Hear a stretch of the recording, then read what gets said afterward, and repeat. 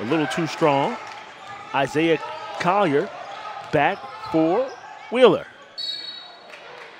And there's going to be a foul.